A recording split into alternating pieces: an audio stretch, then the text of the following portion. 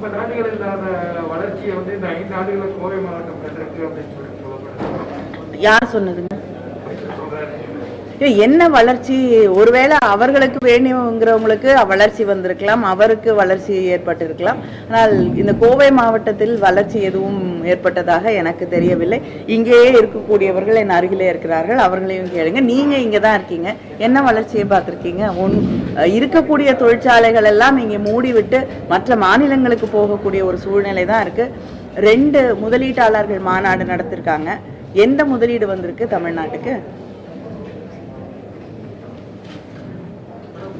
கோவை மாவட்டத்தில் எத்தனை ஆஹ் இல் எல்லா தொகுதிகளிலும் சுற்றுப்பயணம் செய்திருக்கிறேன்.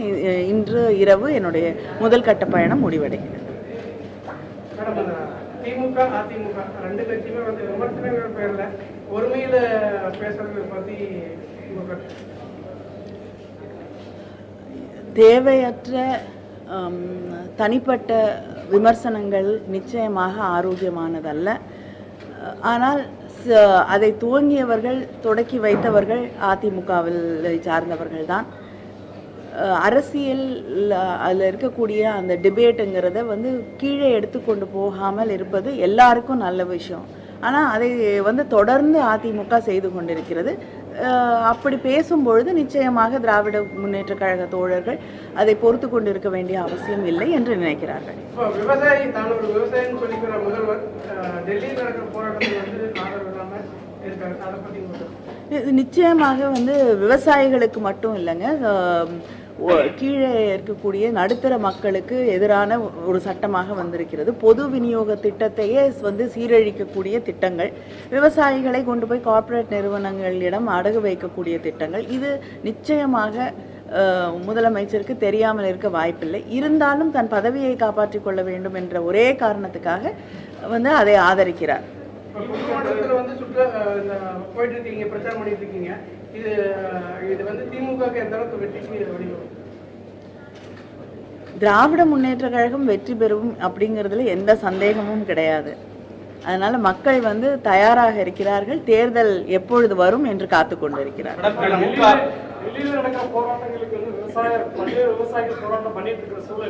வந்துட்டு அக்ரி மினிஸ்டர் வந்துட்டு அவங்க கேட்கக்கூடிய எல்லா டிமாண்ட்ஸையும் கொடுக்க தயாரா இருக்கிறோம் அப்படின்னு சொல்லிட்டு இப்போ ஈவினிங் ஆம், ஒரு க சில நாட்களுக்கு முன்னால் அமைச்சர் வந்து விவசாயிகளை அழைத்து பேசினார்கள். ஆனால் அவர்கள் கேட்கக்கூடிய எதையுமே செய்து தருவதற்கு அவர்கள் தயாராக இல்லை. இப்பொழுது எதை மாற்றுகிறேன் என்று ஏற்றுக்கொள்கிறார்கள் என்பது அ- அது அவர்கள் ஏற்றுக்கொள்ளக்கூடிய மாற்றங்களாக இருக்கும் என்றால் விவசாயிகள் அதை நிச்சயமாக வரவேற்பார்கள். ஆனால் அடிப்படையே அந்த சட்டங்களின் அடிப்படையே தவறு என்று இருக்கும் பொழுது என்ன மாற்றத்தை கொண்டு வந்து விட முடியும் என்ன- என்று எனக்கு தெரியல. இது முற்றிலுமாக நிராகரிக்கப்பட வேண்டிய சட்டங்கள். தமிழகத்தில் மே மாசம் நடக்கக்கூடிய இந்த அசம்பிளி எலெக்ஷன்ஸ் இப்போ வந்து தேமுதிக அதிமுக கூட்டணியில் இருந்துட்டு வந்து இப்போ ஈவினிங் ஒரு ஸ்டேட்மெண்ட் கொடுத்துருக்காங்க.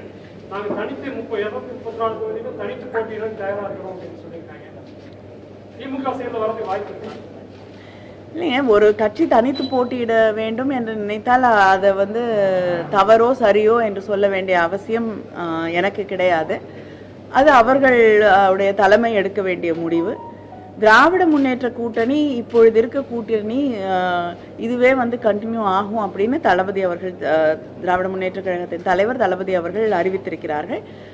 புதிதாக எந்த கட்சிகள் எல்லாம் இந்த கூட்டணிக்குள் வரும் என்பதை அவர்தான் முடிவு செய்ய வேண்டும்.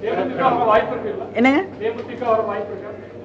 அது நீங்க அவங்கள தான் கேட்கணும் ரஜினிகாந்தனுடைய அரசியல் வருகை திமுகவுடைய வாக்கு வாக்கு வங்கியை குறைக்கும் அப்படின்னு இன்னைக்கு காலையில ஜெயக்குமார் சென்னையில சொல்லியிருக்காரு அமைச்சர் ஜெயக்குமார். இதுக்கு உங்களுடைய கருத்து? இன்னும் அரசியலுக்கே வராத ஒருவரை பற்றி கருத்து சொல்வது என்பது தேவையில்லாத ஒன்று என்று நான் நினைக்கிறேன். ஒருவேளை வந்து யார் வந்தாலும் வாக்கு வங்கியை பற்றி கவலைப்பட வேண்டியது அவர்களுடைய அவங்க தான் அந்த நிலைமையில இருக்காங்க. நாங்க அந்த நிலைமையில இல்லை. வெற்றி திராவிட முன்னேற்ற கழகத்தின் வெற்றியை யாருடைய வரவும் நிச்சயமாக பாதிக்காது. தனிக்கட்சி தொடங்குவது குறித்து தனது ஆதரவாளர்களுடன் ஆலோசித்து யாருக்கு வேணாலும் வந்து ஒரு கட்சி தொடங்குறதுக்கான உரிமை இருக்குங்க. நீங்க நினைச்சா கூட தொடங்கலாம். அதனால வந்து இது ஜனநாயக நாடு தானே. ஒரு வார கால சுற்று போராட்டத்தில் பலதரப்பட்ட மக்கள் சந்திச்சிருக்கீங்க. அந்த மக்கள் உங்கள்கிட்ட என்னமான கோரிக்கைகள் வச்சிருக்காங்க? வீடு கிடையாது. சாலை வசதிகள் சரியாக இல்லை. விவசாயத்திற்கு தண்ணீர் போதவில்லை. விவசாயிகளுக்கு தர வேண்டிய மானியம் வந்து செய்- சரியா அவங்களுக்கு வர வேண்டிய உதவிகள் வந்து சேருவதில்லை. நெசவாளர்களுக்கு இருக்கக்கூடிய பிரச்சனைகளை காது கொடுத்து கேட்கக்கூட இந்த ஆட்சி தயாராக இல்லை. தடையில்லா மின்சாரம் கூட அவங்களுக்கு கிடைக்காத ஒரு சூழ்நிலையிலே அவதிப்பட்டு கொண்டிருக்கிறார்கள். நெசவு தொழிலை தொடர்ந்து செய்ய முடியுமா முடியாதா என்ற அந்த நிலையிலே நிற்கிறார்கள். அது மட்டும் இல்லாமல் அரசு வீடு கட்டி கொடுத்திருக்கிறது. பல ஆண்டுகளுக்கு முன்னால் திராவிட முன்னேற்ற கழக ஆட்சியிலே பல வீடுகள் கட்டப்படுது இன்னைக்கு அந்த வீடுகளை பராமரிப்பதற்கு கூட சரி செய்து தருவதற்கு கூட இந்த ஆட்சியில் இருக்கக்கூடியவர்களுக்கு மனதில்லை. இப்படி பல்வேறு சுய உதவி குழுக்கள் இன்று இருக்கக்கூடிய நிலை திராவிட முன்னேற்ற கழக ஆட்சியிலே அவர்கள் மிக அதிகமான பயன்களை பெற்றிருக்கிறார்கள். இப்பொழுது அடிப்படையிலே பயிற்சிகள் கூட அவர்களுக்கு தரப்படுவதில்லை. மானியம் கிடையாது சுழல் நிதி கிடையாது. ஏன் கடன் வசதிகள் கூட அவங்களுக்கு தரப்படுறதில்லை. யாரும் அவங்களுடைய குறைகளை கேட்டு அதை சரி செய்வதற்கு தயாராக இல்லை. இது வந்து இ- இன்னொரு பிரச்சனை. இதனால தொடர்ந்து அப்புறம் எல்லாத்தையும் விட வேலை என்பது ஒரு மிகப்பெரிய பிரச்சனையாக இன்று தமிழ்நாட்டிலே இருக்கிறது. ப பத்து ஆண்டுகளாக எந்த வளர்ச்சியும் இல்லை. அதனால் வேலை வாய்ப்புகளா கிடைக்காத ஒரு சூழலை நாம் சந்தித்து கொண்டிருக்கிறோம். பத்து ஆண்டுகள் பத்து ஆண்டுகளா வே- வா- வேலை வாய்ப்பு ஏற்படுத்தி கொடுக்கல. சரியான வளர்ச்சி இல்லை அப்படின்னா முறையான நடவடிக்கை எடுக்கலையா இல்லை எடுக்க தெரியலையா அந்த அட்மிஷன் அட்மினிஸ்ட்ரேஷன் ரெண்டும் அப்படின்னு நினைக்கிறேன். எடுக்கவும் தெரியல மனமும் இல்லை. தமிழக முதல்வர் சுற்றுப்பயணத்தின் போது ஒரு மாற்றுத்திறனாளி பெண் மனு கொடுத்து ரெண்டு மணி நேரத்தில் வேலை கொடுத்தாங்க. இதே கோவை மாவட்டம் சோமலூர்ல வந்து பேருந்து நிலைய விபத்துல காதல இழந்த கல்லூரி மாணவிக்கு அஹ், மனு கொடுத்து ரெண்டு வருஷம் ஆகி பணி வழங்கல காலையில நீங்க அவங்களை சந்திச்ச பணி வழங்கவில்லை. அரசாங்கம் பல நேரங்களிலே இப்படிப்பட்ட தருணங்களில் நாங்கள் வேலை வாய்ப்பு வழங்குகிறோம் என்று உறுதி கூறுகிறார்கள். ஆனால் அதை அவர்கள் செய்வதே இல்லை. அதுதான் உண்மை. தூத்துக்குடியில கூட அந்த துப்பாக்கி சூட்டிலே பாதிக்கப்பட்டவர்களுடைய குடும்பங்களுக்கு வேலை வழங்குகிறேன் என்று சொல்லி அவர்களோட படிப்புக்கு ஏற்ற வேலையை யாருக்குமே வழங்கல. அஹ் அதனால வந்து சும்மா கண் துடைப்புக்காக தான் இப்படிப்பட்ட வார்த்தைகள் சொல்லப்படுகிறதே தவிர அஹ் அரசாங்கம் உண்மையிலேயே அந்த பாதிக்கப்பட்டவர்களுக்கு உதவிக்கரம் நீட்டுவதில்லை. நீலகிரி நாடாளுமன்ற ராசா வந்து அவரோட விவாதிக்க அவருக்கு என்ன தகுதி இருக்கு அப்படிங்கிற முதலமைச்சர் வந்து இன்னைக்கு ஒரு கருத்தை வச்சிருக்காரு. விவாதிச்சு பார்க்கட்டும் யாருக்கு தகுதி இருக்கு யாருக்கு தகுதி இல்லைன்னு தெரியும். திருவா- திருவாரூர்ல திருவாரூர்ல வந்து சிஎம் நேற்று ஒரு பேட்டி கொடுத்திருக்காரு அதாவது தி- வேளாண் சட்டங்கள் திமுக முன்மொழிந்தவை தான் அப்படின்னு சொல்லியிருக்காரு அதுக்கு நீங்க என்ன சொல்றீங்க? திராவிட முன்னேற்ற கழகம் அதை எதிர்த்தது. வந்து நாங்கள் வந்து அதை வந்து நிச்சயமாக ஏற்றுக்கொள்ளவில்லை. அதை எதிர்த்து நாங்கள் வந்து வாக்களித்தோம். அதை எதிர்த்து தான் நாங்கள் பேசியிருக்கிறோம். அதற்கு பிறகு தளபதி அவர்கள் பல அறிக்கைகளை வெளியிட்டிருக்கிறார்கள். இந்த சட்டங்களை முற்றிலுமாக நிராகரிக்க வேண்டும் என்று அஹ், தளபதி அவர்கள் தெரிவித்திருக்கிறார்கள். சில நாட்களுக்கு முன்னால் போராட் திராவிட முன்னேற்ற கழகம் தமிழகம் எங்கும் இந்த சட்டங்களை எதிர்த்து போராட்டம் நடத்தியிருக்கிறது. ஆனால் நிச்சயமாக நாங்கள் இதை இந்த சட்டங்களை ஏற்றுக்கொள்ளவில்லை. நடத்தி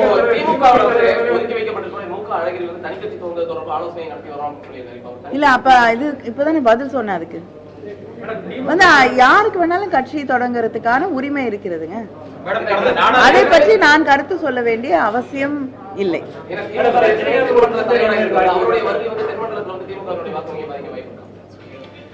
திராவிட முன்னேற்ற கழகத்தின் வெற்றி வாய்ப்பை தளபதி அவர்கள் முதல்வராவதை எதுவும் தடுக்க முடியாது என்று எனக்கு நான் பார்த்தவரை எனக்கு தெல்ல தெளிவாக தெரிகிறது ரஜினியோட நடிக்க தயார் அப்படிங்கிற ரீதியில உங்க அழகிரி வந்து இன்னைக்கு மதியம் பேசியிருக்காரு அது வந்து ரஜினி அவர்களும் அவரும் எடுக்க வேண்டிய முடிவு இதுல. என்னோட கருத்து என்ன இருக்கு?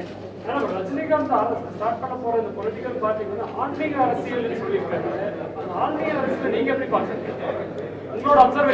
அரசியல் என்பது மக்களுக்கான அரசியலாக இருக்க வேண்டும். ஆன்மீக அரசியல் ஜாதிக்கான அரசியலாக மதங்களுக்கான அரசியலாக இருப்பதை நிச்சயமாக அரசியலுக்குள் இதையெல்லாம் கொண்டு வருவது நியாயமில்லை. மக்களை பிரிவுபடுத்தக்கூடிய பிளவுபடுத்தக்கூடிய விஷயமாகத்தான் அது இருக்கும். அரசியல் என்பது மக்களுக்கான ஒன்றாக இருக்க வேண்டும். அதாவது ஜெயலலிதாவின் நினைவிடத்தை பத்தி பேசினால் திமுகவினர் வெளியே நடமாட முடியாது அதுல கை வச்சா அப்படின்னு கடம்பூர் ராஜு சொல்லியிருக்காரு அவர்களுக்கு இந்த அராஜகத்தை தவிர வேற எதுவும் தெரியாது. போராடக்கூடியவர்கள் எதிர்த்து பேசக்கூடியவர்கள் எல்லாரையும் மிரட்டிடலாம்னு நினைக்கிறாங்க. இதெல்லாம் இந்த அகங்காரம் இதெல்லாம் வந்து இன்னும் சில நாட்களுக்கு தான்.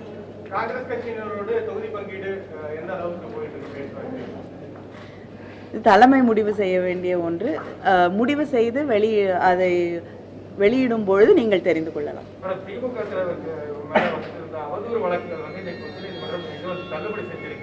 ஆனால் வந்து என்ன சொல்லுங்கன்னா பொதுவாக வந்து சமூகத்தை வளர்த்துக் கொள்ள வேண்டும் தாங்கள் ஆளுமை செயல்பட வளர்த்த வேண்டும். அவதூறு வழக்குகளுக்கும் முற்றிலுமாக முற்றுப்புள்ளி வைக்க வேண்டும் சொல்லிட்டு உச்சநீதிமன்றம் ஐ மீன் உயர்நீதிமன்றம் சொல்லியிருக்காரு எப்படி பார்க்குறீங்க? சில நேரங்களில் அந்த வழக்குகள் வந்து ப- பலருக்கு எதிராக பயன்படுத்தக்கூடிய ஒன்றாக மாறிவிடுகிறது. இப்போ பத்திரிகையாளர்கள் எவ்வளவோ பேர் வந்து முடக்கப்பட்டிருக்கிறார்கள். கருத்து உரிமை என்பது மிக முக்கியமான ஒன்று. ஆனால் எல்லா நேரங்களிலும் வந்து ஆ- ஒரு ஒரு எந்தவித அடிப்படையும் இல்லாமல் அவதூறுகளை பேசும் பொழுது நிச்சயமாக அதுவும் தவறாகத்தான் முடிகிறது. அதனால யாருங்க? திமுக தலைவர் வந்து திமுக அவதூறு தலைவர் பகல் இல்ல, வகையில அவதூறு தொடர்ந்து வகையில. போஸ்டர் அவங்களுடைய அடையாளமே தெரியாம யார் ஓட்டுறாங்கன்னே தெரியாம அவ்வளவுதான் அவங்களோட தைரியம்.